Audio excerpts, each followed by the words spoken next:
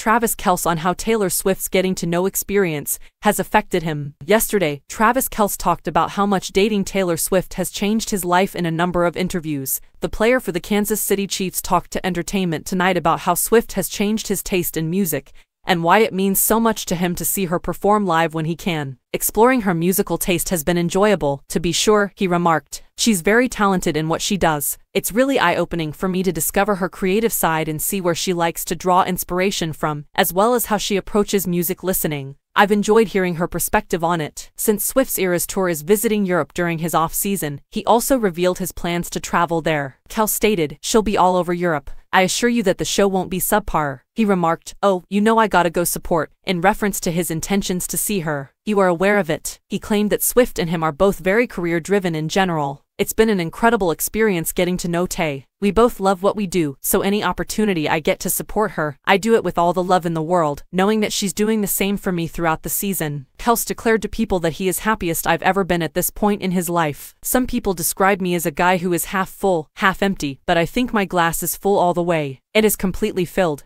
I'm so full of life right now.